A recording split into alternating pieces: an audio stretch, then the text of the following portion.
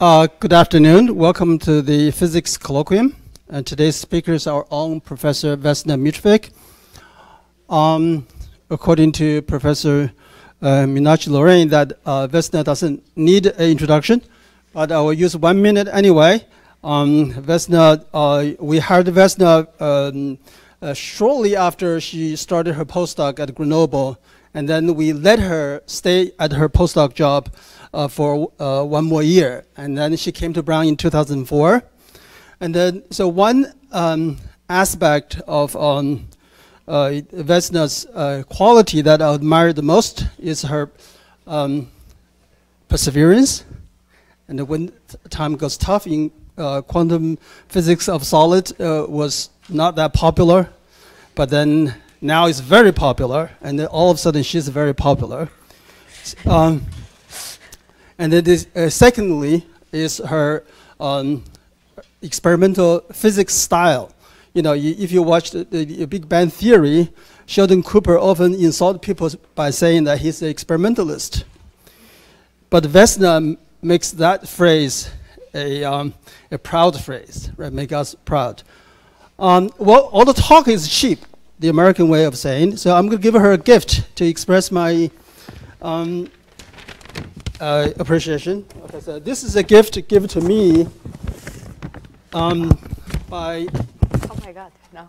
A, a former professor, um, well, the late Professor Bob Beyer, and it was given to him by the, the late Bruce Lindsay. This is the original copy of de Broglie's thesis, 1929. right now, there are only one copy in the world that's circulated. This is the second copy that. um, so I'm going to give it to you. It's in French. Uh, it's, uh, it's about. Um, you, know, you, can guess what it says, right? Um, this is de Broglie's thesis. Okay, so I feel guilty. Uh, okay. Okay. Uh, I feel guilty by touching it. Somehow I thought it should be uh, in some uh, library at Brown. But I thought, uh, you know, for me to keep it in my office is kind of a waste. So I'm going to give it to you. Thank you so much.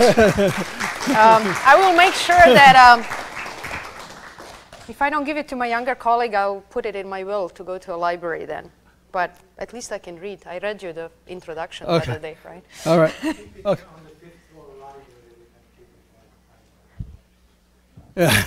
I'm not sure that's a good idea. Um, okay, so um, he would, she will tell us about all the uh, latest excitement in the quantum physics of solid materials. Well, thank you very much for the introduction. Um, so, um, not all, but some excitement, okay? Um, I won't talk about FFLO because that's a solved problem. Uh, they were looking for it in high energy physics and atomic, but never managed to find. So I think that revived condensed matter physics. So, but I will talk about magnetism and then try to explain really what I, I mean by these two kind of catchy words here, uh, meaning relativistic and quantum magnetism. So magnetism in itself, well, you need a magnetic moment, but that really, and we know how to describe that classically, but that's really not the whole story. If you really want to talk about magnetism, you need to consider spins.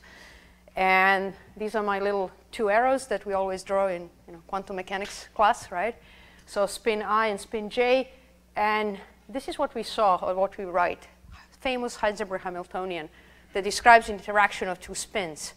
And so that's very nice for you know, introductory quantum mechanics, and you can make nice problems on your exam, right?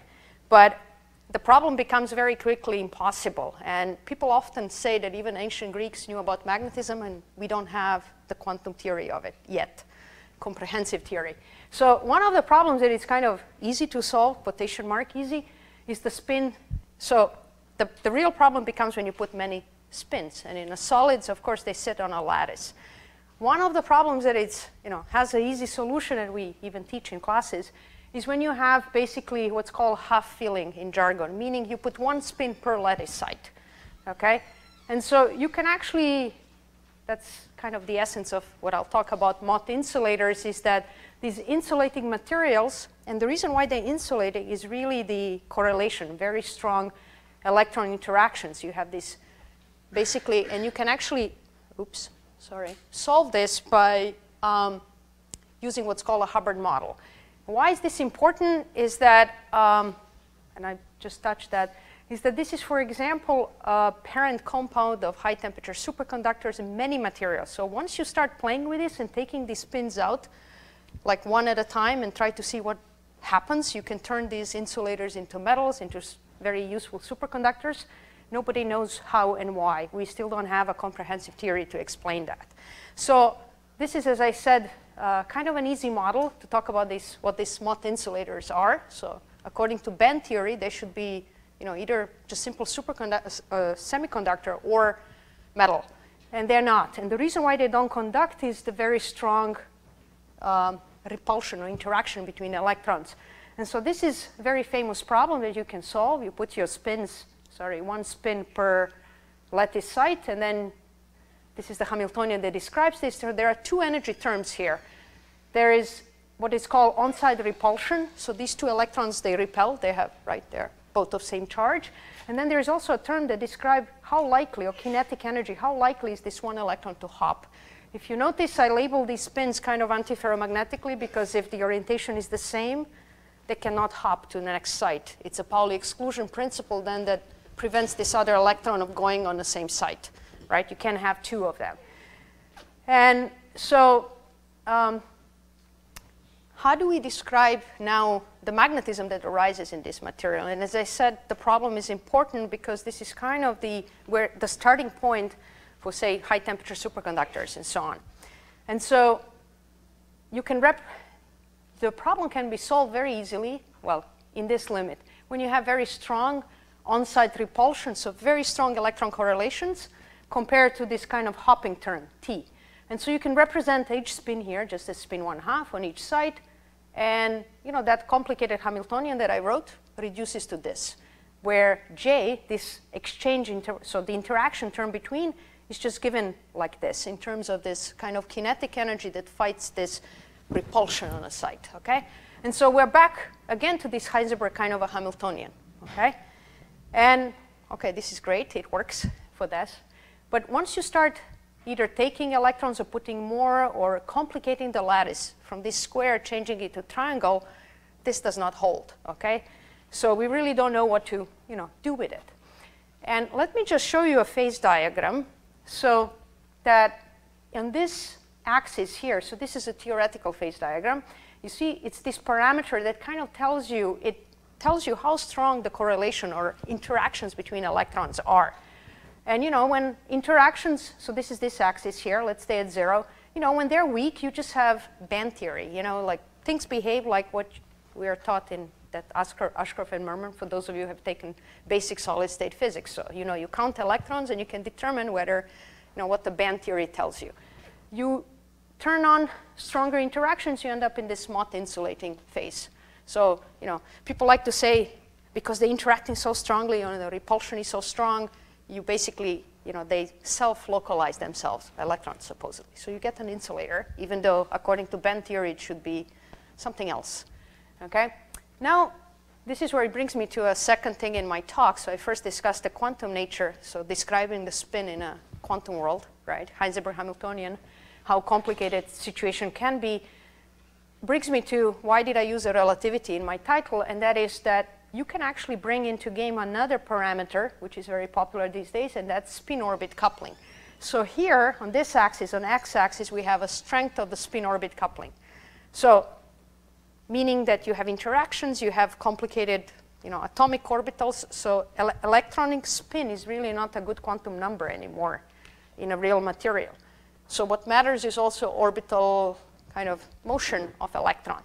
And that's purely relativistic effect, thus the title, right? And so you can see that, for example, if we are here and just consider spin-orbit coupling, so spin-orbit couplings became extremely popular lately, it's because it's a kind of a main ingredient to, again, move from this kind of simple either metal or band insulator into topological, to give you topological insulators or semi-metals. So it's a main ingredient of that, okay? And now when you put two together, okay, you get these very exotic phases here. I'm sure my colleagues from high energy theory would appreciate axion insulators, Weyl semimetals, topological Mott insulators, spin orbit coupled Mott insulators here, spin liquids, and these quadrupolar phases that I'll talk later what they are. Now, uh, so if you're a theorist and you, you know, it's nice to make these pictures of what we expect. So this is what I'm going to talk about. But let me just kind of uh, give you an essence of why this is an extremely difficult problem to solve. So imagine everything that happens to one electron depends on also all the others and you know thousands, millions of them that you have in a metal, right? And then spin instead of now being the simple error, right? And writing it this way, well, usually spin here looks something like this now. If you plot the spin density when you have spin orbit coupling, right, it's, you know, you don't have this localized little error, okay, or you can't really write this. So this is actually a real picture of calculated kind of co composite spin for a particular material that are very popular, iridates. They're actually example of this kind of stuff here, okay, Weyl, semimetals. And so the question is, how do now, what is the effective Hamiltonian and how we describe the magnetism in this when we have this kind of, you know, entanglement between the orbital, orbital motion of electrons and the spin degrees of freedom. Now, uh, what is necessary, actually, according to all the theorists, is to be able to probe these systems with some kind of a local probe. And the reason is, again, you have to be able to kind of locally look at this kind of distribution of the spin and be able to probe that. Yeah. I just, I just want to make sure I, uh-huh. I get this. So these, these it's a calculated spin density for uh, iridates, which are very popular material. They sit somewhere, you know, around here. Okay, Should on the face. Yes, yes, and it's an effective J for spin one half calculation again of the effective spin density in a particular material. Yeah. It looks even worse than that. This is a simple one. This is supposed to be a one half, J one half in this particular oxide if iridate. So yes, think of it like the probability distribution of the position of elect, well, I don't know even how to say this. It's not the position like the chemistry, it's the spin density. Okay? okay? So whatever that whatever that means. Uh -huh. Yes, on a single site. So basically, wherever one arrow upstate turn into this mess in space now. You see, yeah, in spin space. So if you have a probe that probes spin spatial distribution, that's what you're supposed to see. Okay. So in the absence of spin orbit coupling, mm -hmm. it would be just an arrow. Just mm -hmm. Yeah up, down, exactly. So that's why it refers to actually, so J one half, this is upstate, this is downstate, okay?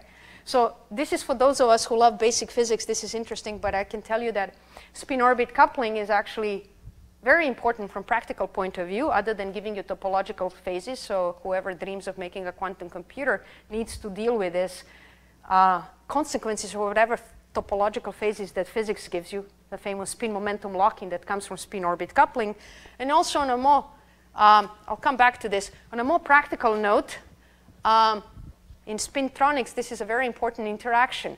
And I just give an example of certain uh, paper, the review article that was actually copying how to do this, what's called magnon dynamics, tronics, using spin to do electronics, and trying to actually transfer these kind of Goldstone zero energy modes, magnon spin waves through a material, and then talks about making a rectifier of spin with this torque, you see these equations, they're all actually classical, semi-classicals, right? There's no way we know how to predict this. And so where we are from a practical point of view is, you know, we make a material, we know that it has spin orbit coupling because you use heavy elements. And then, you know, you go and irradiate with uh, microwaves and you hope to get something and you test it, right? The theory is not, it's all semi-classical, so like the NMR in the old days, right? It doesn't really work. It doesn't tell you a lot of things. So it would be nice if we have um, a way of dealing with this spin orbit coupling and predicting and calculating the properties so that you know, we, don't, we know how to make these devices more efficient, okay? And what is it that we need to tweak? So that's on a practical note. To go back to, uh, you know, complicated theories, we have list of, again, depend, you know, kind of off these phases here. So they're all listed. This is all nice and fancy jargon words. But here it tells you what the properties or order parameter is. So, you know, fractional quantum Hall effect, you have this and that, all these exotic things that hopefully one day we can actually use to make something, you know, like a fancy quantum computer or so on. And this is why we want to study this stuff. And so um, let me go here and how did this skip to this? I'm missing a lot of stuff. Okay, sorry for this, kind of got shuffled. So we found there are, according to theory, there are perfect materials. This what I call 5D uh, double perovskites that actually are right here in the middle of this. So where they have very strong interact electron correlations and also extremely strong spin orbit coupling.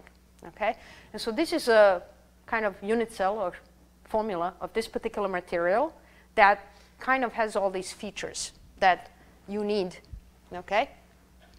And it has one unpaired electron, so it would be one electron per site, okay? And it has this, um, so it's a cubic symmetry, the simplest possible, but it's face center cubic, so that's kind of frustrated in a sense. They're a little bit complicated than just a simple cube.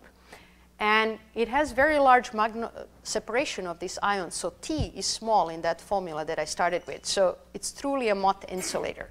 Okay? And let me, yeah? Okay, so if I look at that um, Mott mm -hmm. insulator to simple metal uh, sure. transition. Yeah. And then if I look at that line, it's, it's pointing downward. So if I sit somewhere in the parameter of U over T, mm -hmm. if I go horizontally, it yeah. tends to on the lambda the spin orbit coupling strength. Mm -hmm. And I go through a metal insulator transition. Yes. Okay, so is there a simple physical picture can be presented for that? With if you're going this way no, or you go that, that way? way yes. That way. Why would it, uh, Why do you cross basically here with the spin orbit coupling? Right. Why would the orbital degrees of freedom makes the metal into an insulator? It, it orbital degrees of freedom would actually, it can effectively, and this is an example in this material, so the spin is three halves. Orbital degrees in a lattice makes it effective one half. It, puts, it makes it more quantum, okay? It, you know, theorists say that you purify, okay? And so what happens is actually you are effectively lowering your J. Remember, J is T squared over U. So it's, the, the effect of spin orbit coupling here is the same as actually lower, if you lower j, that means the u is smaller, right? And, and it's, it's the same as going this way. So the j is weak, sorry, the spin orbit coupling is weakening the interaction, the j, the super exchange. So it's making it more. Make u bigger. Yeah. Make u bigger. If I make the uh, Coulomb repulsion stronger. You make, uh, so, sorry, you're making j stronger, sorry, that's way, right? You're making j, u is goes down, yeah. And you make it J stronger because you have extra paths for super exchange, right? More overlap if you involve the orbital, okay? That's why it goes that way. So let me just, uh, I need to, okay. So, and, and this is kind of your question, you know, and this is again to kind of summarize what's happening, is that if you take look at that particular material, okay, so again, this is a calculation of theory, what you should have, these very fancy quadrupolar phases, so if you just do a simple counting, okay, like band theory, like how many electrons I have, what's my lattice, blah, blah, I should have an effective spin of 3 halves on face center cubic lattice. And that everybody can calculate supposedly. Well, you know, you, DFT you can use and predict what the property should be. And according to this, what I'll actually explain now, these kind of no, new quantum theories, this is actually the interaction is very unusual. Multi, it involves this, you know, the fancy clouds that I showed that Eugene asked me what, how to view that, okay? And it turns out that because of these kind of interactions, of these relativistic spin orbit effects, that the effective spin of the system actually becomes one half. So your system is actually becomes more quantum. You know, the lower the spin, the more quantum your system is, okay? And uh, it predicts that you should, you know, under basically these kind of very complicated quadrupolar orbitally ordered phases should precede magnetism, and that's what drives magnetism, okay? That's the prediction, okay? And so if it's a spin, higher the spin number, your system is less quantum. The quantum fluctuations, right? The, what I mean by quantum, I literally mean that imagine I'm living in a zero temperature world and I'm talking about uncertainty, right? So only spin one half has much larger uncertainty than any higher spin. So quantum fluctuations are more important lower the spin number. So in that sense, it's more quantum, okay? So any classical description of the magnetism then becomes more or less relevant, so to speak, okay? And uh, I don't know how my slides got shuffled, but let me just go back here, okay? So this is the theory. Let me explain what, you know, I just kind of told you what in jargon, what to expect. But this is the essence of this, what's called a quantum models. And the, this was developed or started to develop in 2010 in a group of Leon Balents at, uh, in Santa Barbara. So he's really pioneering this kind of physics or description of the systems that have spin-orbit coupling. And of course, you represent now the spin with this J composite, you know, and you project to this new.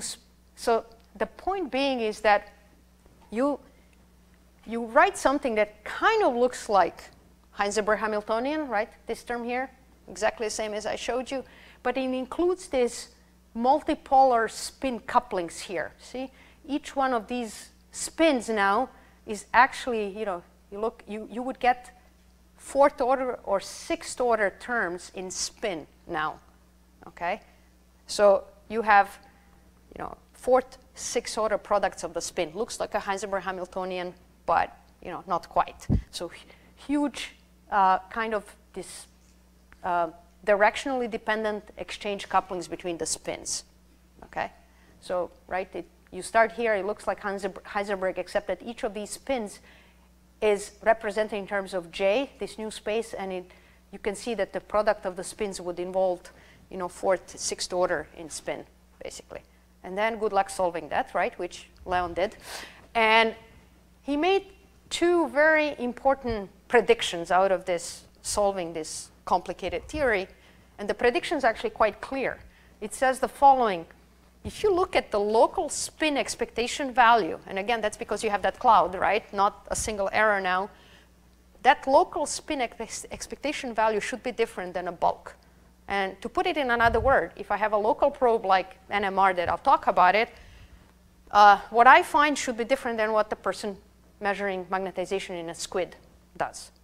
I've never seen that before, but that's what it should happen here. And before, what drives the magnetism is this structural change or this quadrupolar orbital phase, okay? That structural change or breaking of the symmetry of the lattice should happen before you go into the long-range order magnetism. So those are very clear predictions of the theory that is something easy to test, especially with uh, basically uh, with the NMR that I will discuss how we have done this. And the, we, first of all, by this, this here stands for nuclear magnetic resonance techniques that I use in my lab. And so we can actually probe this because we have a local probe. And I'll also show you not just that you can locally probe the spin, but throughout the material, so it's a bulk local probe.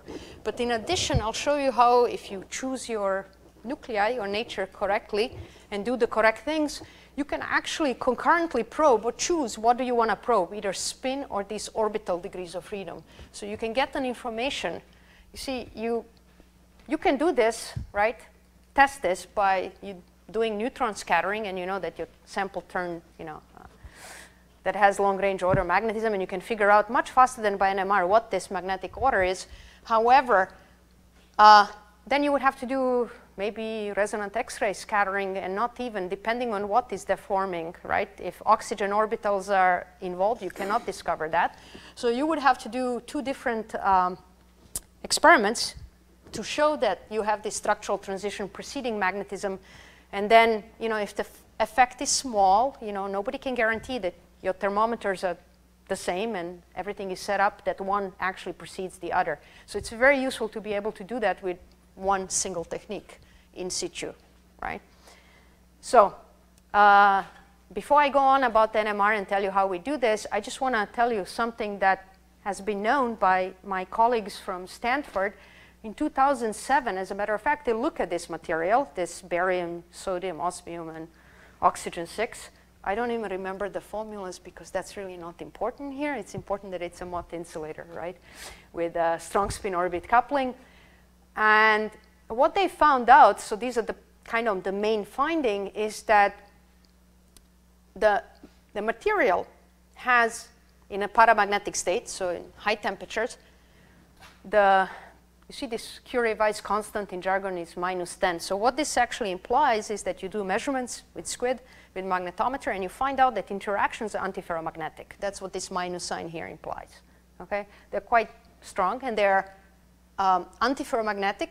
The moment is about 0.6 Bohr magneton, and they found out that this material orders ferromagnetically at below 6.8 Kelvin. So below 6 Kelvin is, it has long range order, it's a in a ferromagnetic state.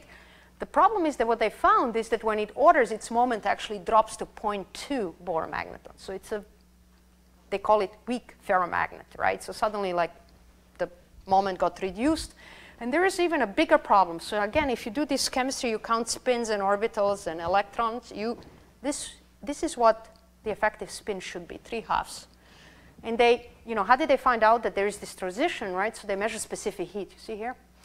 And if you look at the entropy in this transition that it's released, so what you have to do is integrate this, right? To get the entropy, actually, what they find that this is the entropy they found when they integrate. There's R ln of 2, 2 degrees of freedom. That tells you that the spin that underwent this magnetic transition is just one half, not three halves, right? So there's a problem of missing entropy here. And if you look at the magnetization versus the angle of like a little applied field to figure that out, you find that it's a ferromagnet with the moment, easy axis, right? The moments are oriented along this 110 diagonal direction of the cube. You cannot get that from Landau theory for magnetism. Impossible in expansion. You know, the ferromagnet should, the moments should point along the one of the crystalline axis of this cube because the system is completely symmetric, okay? So these were kind of mysterious uh, experimental finding back from 07, okay? So, which by the way got all explained uh, by, I'll show you how and why. And so before I go on, um, I'll tell you we solved the mystery and this is how. So this is a kind of a preview of what we find, what we found out by NMR. And that is, so I'm plotting a phase diagram first uh, field versus temperature here. So the results I showed you with these thermodynamic measurements were done, as a matter of fact, uh, as a function of temperature. So right here on this axis. So you go from paramagnetic state to this ferromagnetic state, okay? And so what we found out, and as I said, just to kind of a preview here, as you lower the temperature, so it goes from red to blue, right? We have, at high temperatures, you have a paramagnetic state here and a perfect cubic symmetry of the crystal. I'll tell you how we know that, independent of any other measurement. And then as you cool down, okay, regardless of what the field is, you enter this phase that we call uh, broken local point symmetry. I actually called it point local cubic symmetry, but then it was BCS, you know, in there. So not to confuse with BCS, we, we actually uh, changed the name on all the figures. So thus the broken local point symmetry, not the cubic. It is cubic, but you know, not to have a BCS in there. Okay, so it's the phase that it's again, you're para, it's a paramagnetic phase. There's no long-range magnetic order, but the these you see these little blue things are kind of oxygen atoms around. They are deforming. They, so the local symmetry is not cubic anymore. So that's this green phase here. And as you lower further temperature, you actually enter into this uh, ferromagnetic state. C stands for canted antiferromagnet, sorry. And again, the symmetry is not cubic. Okay, so that's what we found out, and let me tell you now, walk you through how and what all of this. And this is exactly what that quantum model that I call for short with this complicated multipolar exchange predicts is that you are in a paramagnetic state here, you actually, you need to see the breaking of cubic symmetry or a structural symmetry before you go into this uh, long-range order magnetic phase. And I'll also show you that the properties of this phase are all in agreement with this kind of uh, complicated calculation, okay? Uh, so how do we do all of this? Uh, as I said, we did NMR, and it tells us a lot about magnetism. So when we record these spectra that I've been showing you, okay, I just want you to remember that that gives us a, a basically image of local magnetic field probability distribution. Okay? And so what we have done in particular here, osmium atom carries a spin, S here. This is sodium nuclei. We actually did all the work on a sodium. There is a reason, you'll see in the next slide, why uh, sodium was chosen, and I denotes nuclear spin. And so there is an interaction between the two. Um, so this is the moment so what we actually measure is an internal magnetic field that it's right here at the sodium site. That field includes whatever we apply, plus, you know, magnetic field that it's created by this moment, by this spin of osmia, okay? Spin, whatever that means, okay? Whether it's a cloud or an arrow, it creates a magnetic field at this particular site here. And, you know, this um, term that kind of projects one to the other. It's called hyperfine coupling constant. So it's really an overlap of the quantum wave functions of these two spins, okay? Uh, and kind of impossible to calculate, but you can find it experimentally, and I'll come back to that. And so, you know, if you do um, NMR measurements in, say, you know, a simple ferromagnet, I'm just going to show you what you expect to see. So in a simple ferromagnet, let's say this is a resonant frequency of your nucleus. If it was resonating, you know, just in a field, in vacuum, there were no interactions. There's nothing, no other electrons or spins to create internal field. And if you have a ferromagnet where, you know, these arrows here are electronic spins, right? So you see they create an extra local field, right? And basically just shifts your resonance and you just see some kind of a little delta function with final width, okay? And this distance here actually allows you to then relate this to magnetic moment. If it's a ferromagnet, you're going to see two peaks, okay? And they're actually separated on the opposite side, right? So all the nuclear spins that are sitting, let's say, right here, that are coupled to the moment pointing up, they're going to be shifted up in frequency. They feel higher local field. And then the ones that are right here underneath or coupled to the spins that are pointing down, they're going to you know, that field is canceling the applied field, so it's going to be shifted down with respect to this, you know, vacuum frequency, right? And so you can use that to uh, calculate, again, the moments and see how the spins are arranged. If you have this kind of, you know, spiral or, you know, incommensurate kind of waves, this is what you would see. These are just simply probability distributions of these uh, structures here, okay? Now, it brings me to something that is a little bit less known. Uh, this is what everybody supposedly knows about NMR, even when we do lab experiments, right? Uh, in physics 156 and 210. But that is, there, there is this quadrupolar interaction. And this is why we chose to work on this sodium, okay?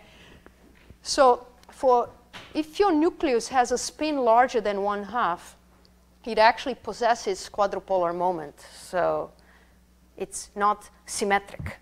Okay? So it possesses this quadrupolar moment Q, and it turns out that this you know, particular quantity can interact with the electric field gradient of the electronic charge. Okay? And it gives us very useful splittings, and we can actually, you know, by looking at this NMR line, really measure, say, the strength of these electric field gradients. The point being is that by doing this kind of you know, NQR measurements or nuclear quadrupolar resonance, you can obtain information about you know, electronic charge. Okay? So basically any local lattice or charge distribution deformations or asymmetries that arise in your system, you can actually uh, see that. Okay? So just to go into an important point here, and I'll be quick now. So as I said, your nucleus has to possess a quadrupolar moment, Q, and that interacts with electric field gradient. So supposedly this is my nucleus now with a quadrupolar moment. You see it has some kind of a charge asymmetry. and it interacts with this electric field gradient. This is just the principal axis of this electric field gradient.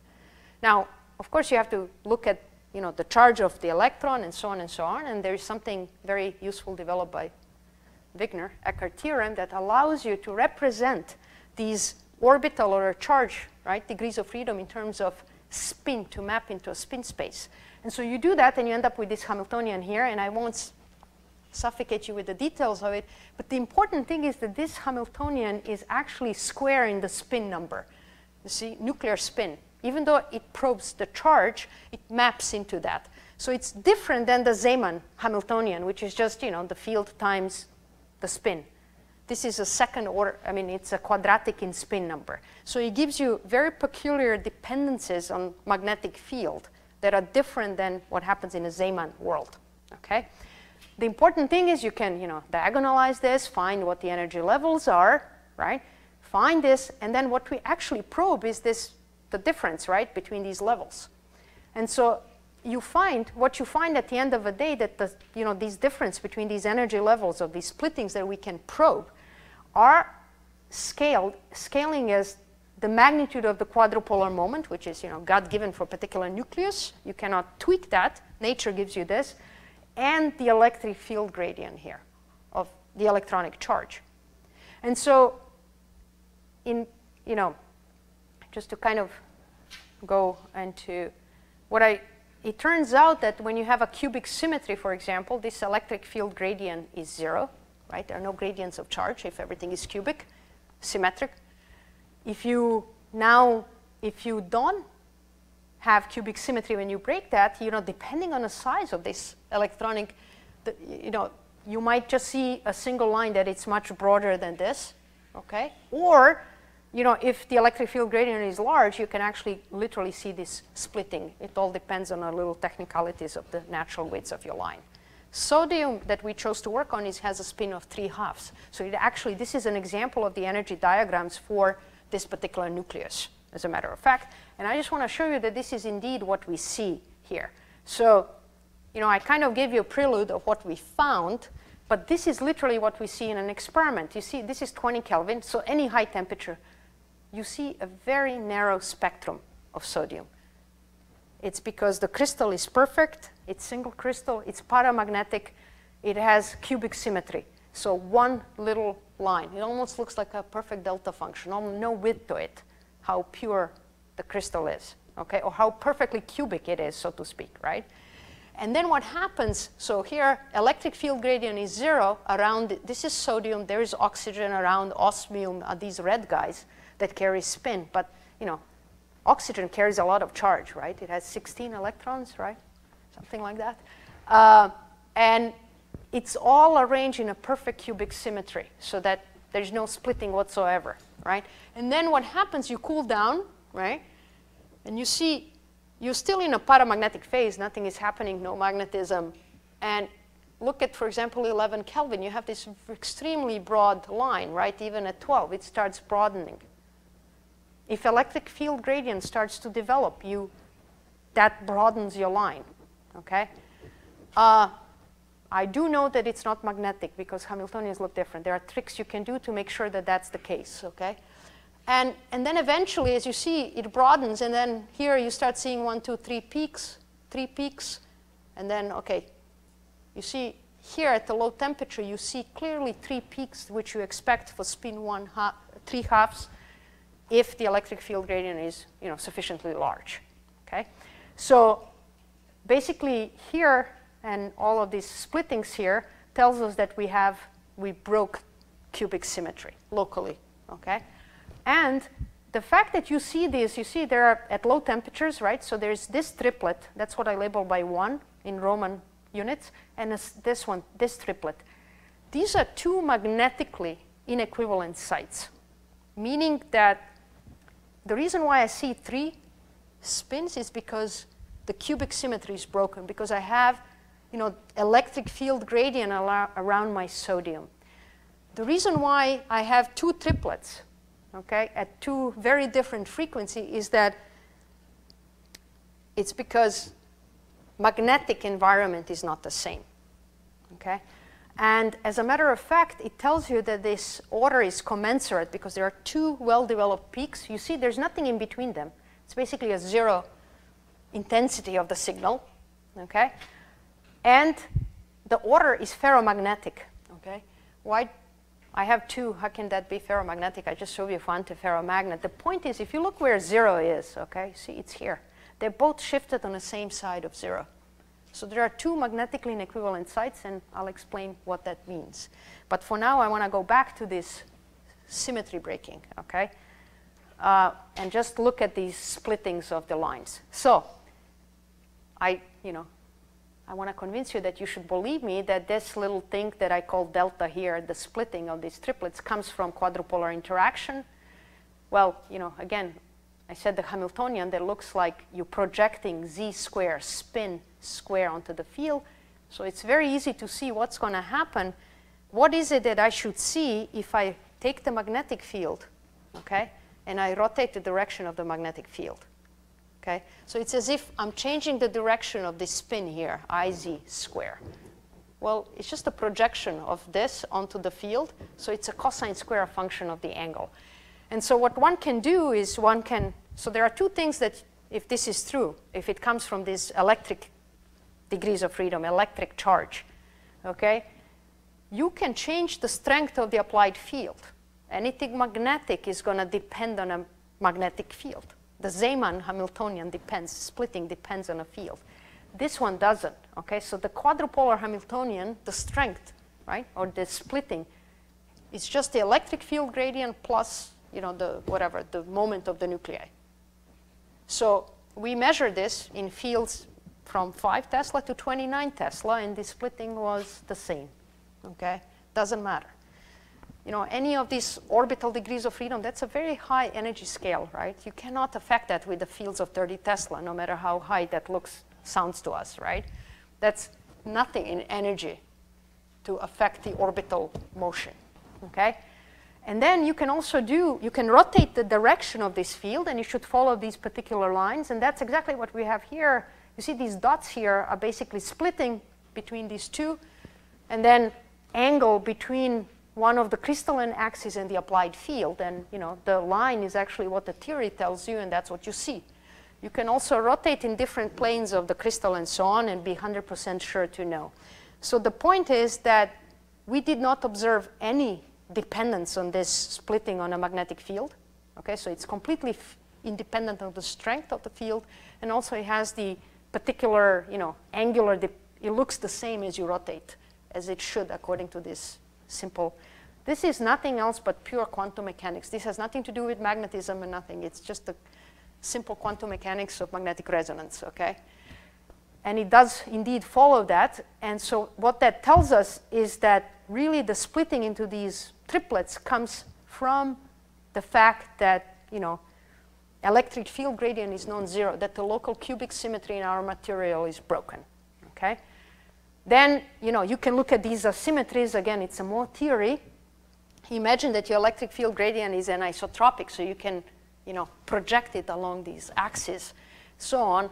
This is what's called a symmetry parameter here. I'm not going to, you know, suffocate you with theory here. Again, it's just pure quantum mechanics, nothing to do with, you know, any physics of this material, right? It turns out that what you can do is you can rotate the magnetic field either along, say, uh, let me show you here, uh, either along in this diagonal direction. So say from one cubic axis to diagonal 110, you can do rotations along the sides of the cube. And that will tell you very different things. And so we did that. And what that allows us, because of these anisotropy here, it allows us to really figure out where are the axes of these electric field gradients with respect to the crystalline axis. Okay?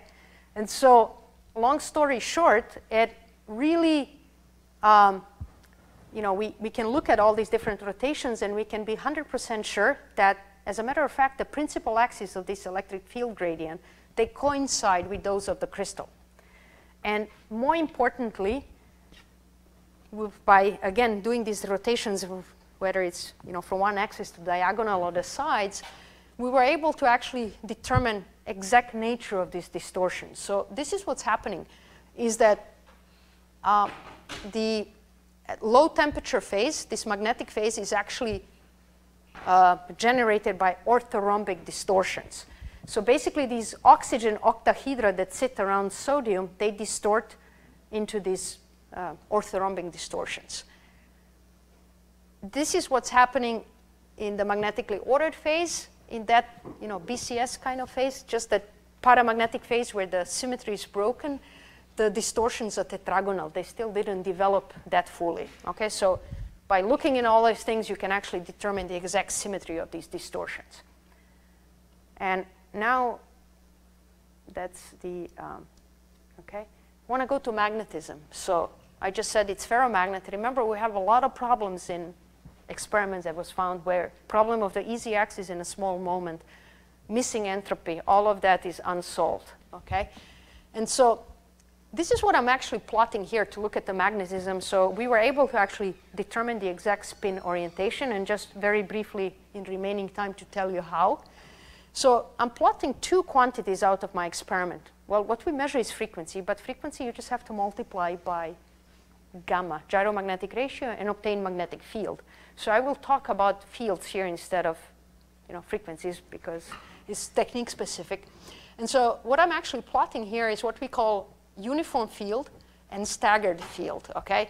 And so this is how we calculate a uniform field. Think of it this triplet one. I don't really care about these little details in there. That's quadrupolar interaction, okay? So breaking of cubic symmetry. But what I'm going to plot is uniform field. You see, it's an average field at the site one here, plus the average field at the site two, triplet two, divided by two. So statistically speaking, it's a first moment. It's the average of the magnetic field of this whole line, okay? And staggered is the difference of the two, okay? So it's like an order parameter for an antiferromagnet, right? It's a staggered moment. So that's exactly what these two are. And so if you look here, this is actually scaled at different applied fields. So this is a uniform moment, and this is staggered moment plotted versus temperature, and you see that as you cool down, of course, you develop this moment. You see that the uniform moment actually here it's 7 Tesla, this is 15, at 29 is even higher. So it grows, uniform moment grows as you apply the field. And it should, you know, you apply the magnetic field, you polarize your system more. Staggered, on the other hand, stays constant, right? That's a difference of these two sites. That stays constant as a function of applied field. And so um, let me tell you that this has enough information for us to actually figure out what the exact magnetic order is.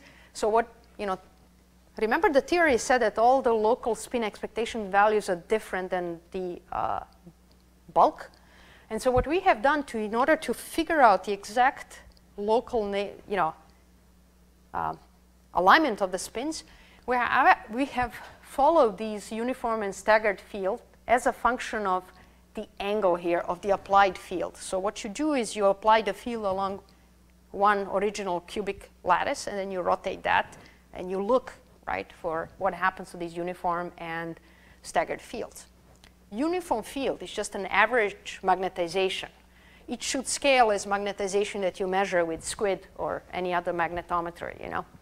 And this is where the mystery comes. So what I'm plotting here is the magnetization from the group of, that was done back in 07 from my colleagues at Stanford.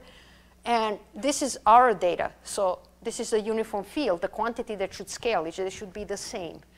Okay, this little angle problem here, there could just be different goniometers. But the point is that we do not find the maximum moment along this direction. So it's quite different, okay, from the bulk. That's what the theory told us, that it should happen, right? So it's kind of neat but that doesn't tell us anything yet. And so now I'm going to use this data here that we looked at so that we can see all the anisotropies to figure out what the exact magnetic order is. Okay? And this is how we do this. So this complicated measurement here, okay, so all these points are data of uniform field on this axis, and these blue are staggered fields. So that's all information we need to figure out the exact magnetic ordering.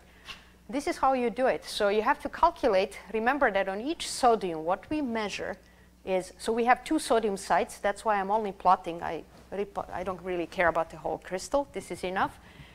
And what we measure is an internal field, right, at, that is created by these osmia. You see these red? This is osmium. It carries spin. So now I'm neglecting, you know, spin-orbit coupling and my clouds and all that, Jim. I'm representing the spins as a single error, but really not doing, uh, not losing anything. And we're calculating, right? So we have a moment, right? In particular direction, we know what this hyperfine supposedly uh, tensor is, and you calculate the internal field.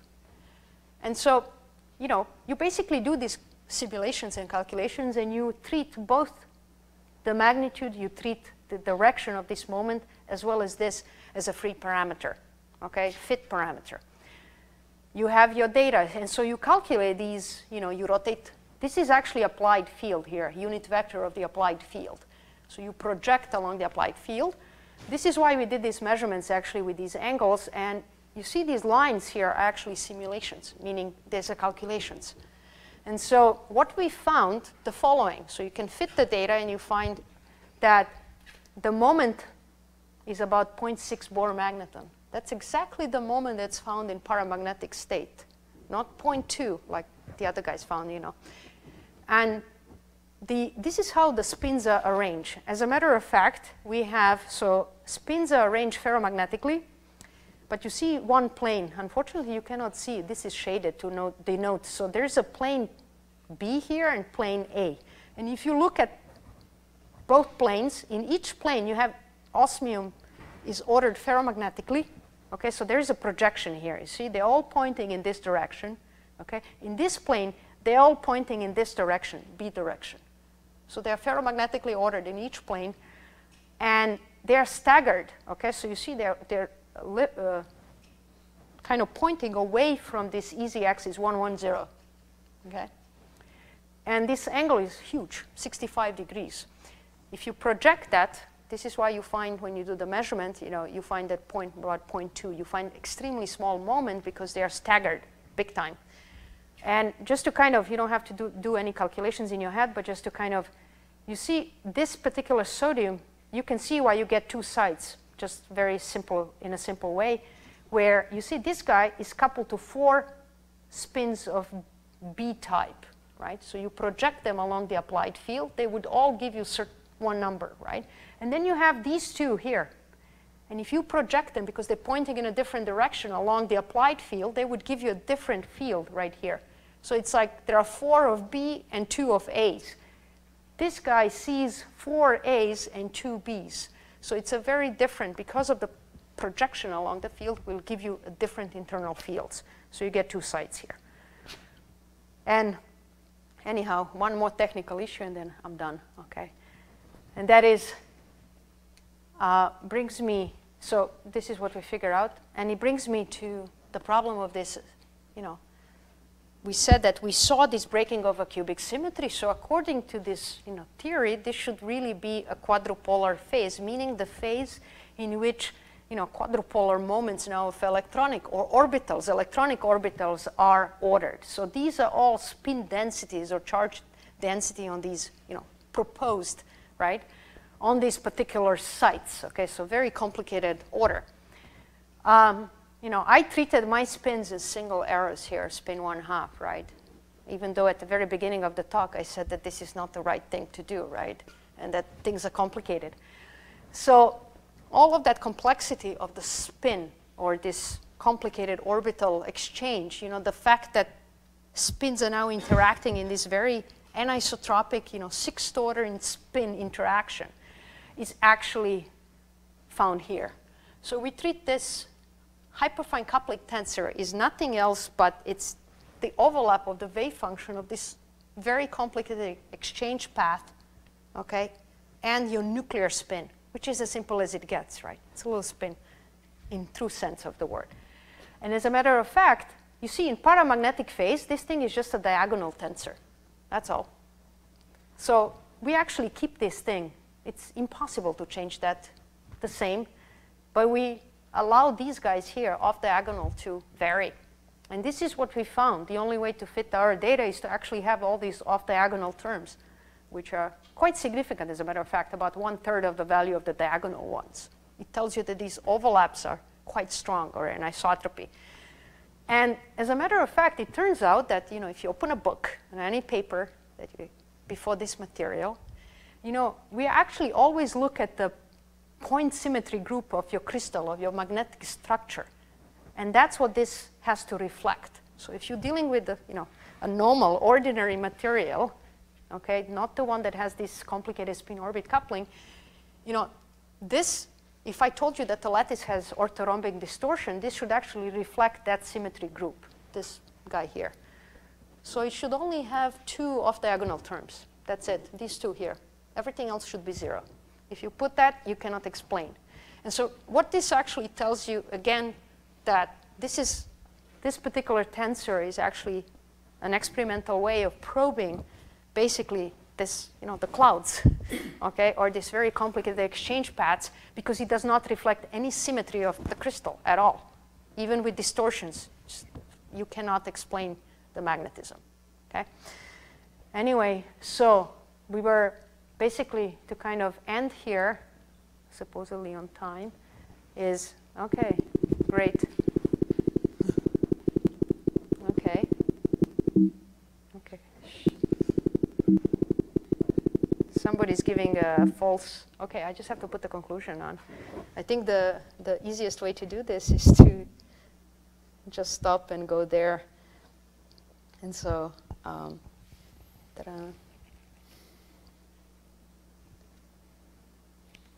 So, as I said, that, yeah, I'll do it by hand. Anyway, so as I said that we have actually detected these you know, broken local cubic symmetry phase. So breaking of the local symmetry that was predicted that precedes magnetism by these uh, kind of quantum models. And then we're able to actually really discern this magnetic um, phase. Um, and I would just like to end, anyway, that's the end result. And thank to my collaborators, um, Ian Fisher at Stanford, who provided the samples and a lot of all of the initial work on this thermodynamic characterization was done by in his group. Uh, a lot of discussion with the theorist Leon Balents, who actually developed all these uh, theories of how to treat this quantum theory uh, of magnetism, Arneil Reyes, who helped us with experiments at high fields. And then all the Brown crew, my students, Lou was doing all the magnetic um, uh, simulations to figure out the order Wenkong Liu, who's just graduating next week. Uh, he did all the stuff of electric field gradients to symmetry calculations, and now we have two new guys, Rong and uh, Eric, in the audience who are actually continuing this. So I'll stop here. Thanks.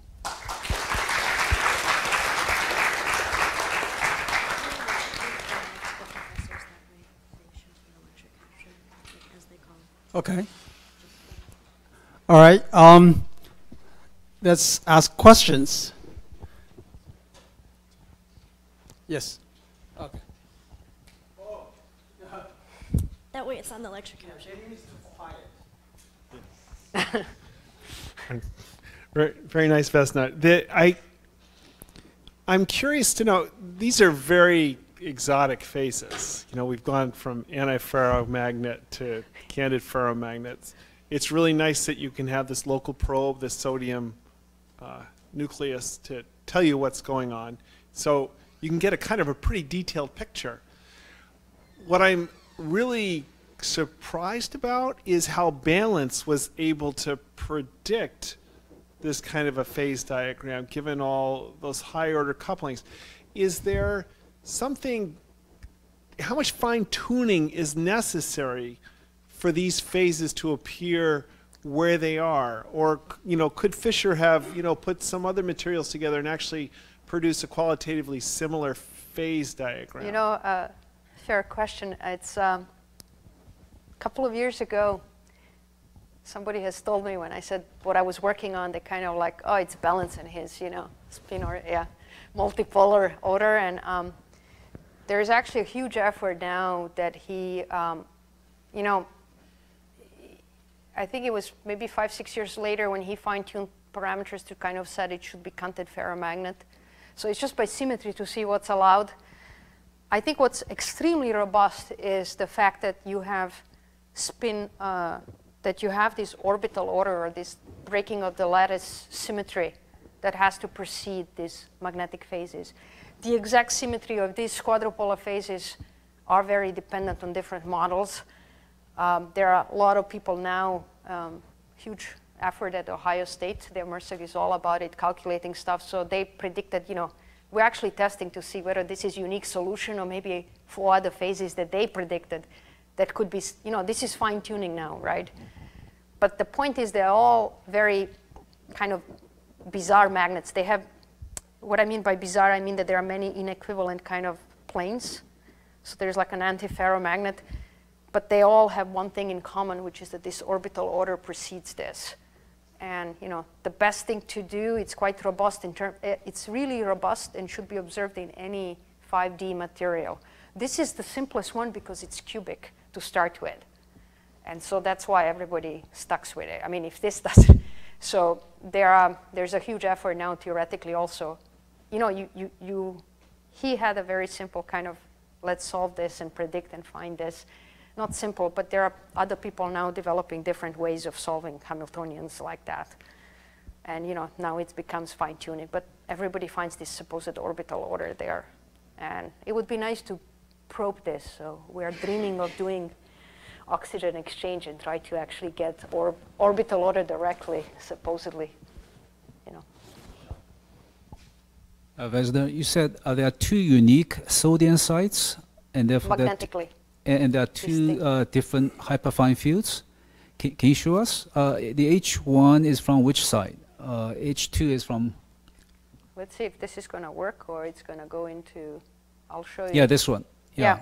So look, one is from one, one is from okay. You see this side here, say B. It's coupled to four atoms of B type and two A. Okay, so that's one. This one is has four A's and two B's. So I'm just saying on spin A and spin B give you different field. And so if I have four A's plus two B's, that's different than four B's and two A's. So, so based on this structure, can you calculate uh, what H1 and H2, or at least the ratio? Uh, because is, is it solely determined by the distance between the sodium and osmium? No, no, it's, it's solely determined by, we know the distance, we measure that and. It's solely determined by this angle here. You see the, the, the difference with respect to the crystalline axis of the orientation of this, of this plane and that plane. So it's determined by, you know, if you look at spins in one plane are oriented, say, like this, you see, ferromagnetically, and in the other plane above, they're, they're pointing in some different direction. And so the difference is purely determined by the angle of this orientation, yeah, which is material specific, right? So Okay, so can H1 and H2 be, uh, be calculated uh, based on Well, they can be calculated, but yeah, and we measure that. That's exactly what I call my staggered moment. And that's something of the order of about 30 millitesla in this material. Okay, the second question is uh, if you dope the material or if you change the oxygen stoichiometry, are you able to get uh, superconductivity You or even be. high TC? You should be. As a matter of fact, there are predictions by you know guys doing DFT that you even if you apply the pressure, you should suppress the Mott state and turn it into metal or turn it into uh, you know eventually superconductor. But they're kind of difficult. It's very difficult to dope this stuff. So that does the, you know, it was basically predictions that even pressure, instead of doing doping, you know, to actually um, just apply the pressure and be able to supposedly induce the metallic state and eventually superconductor, right, at low temperature. So it should be.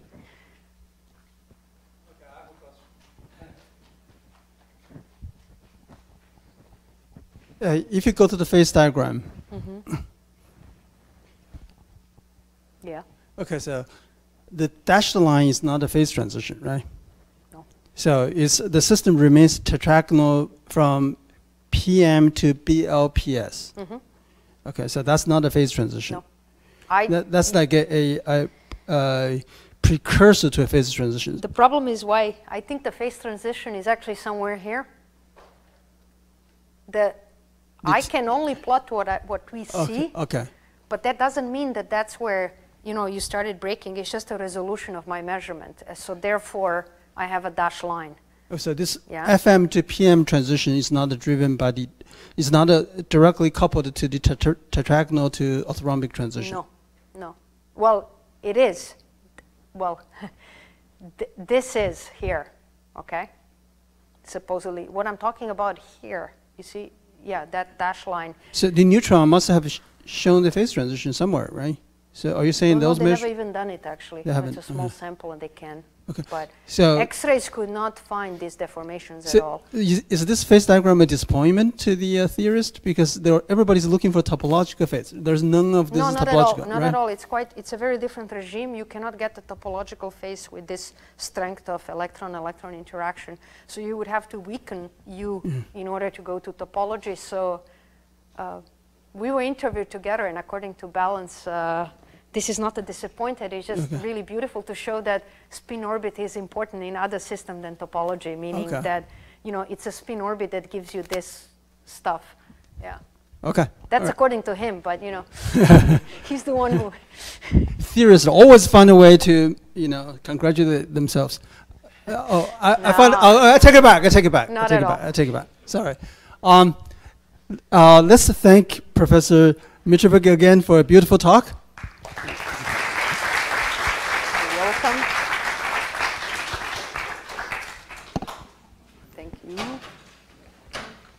keep that in. Uh, uh, yes, yes, yes.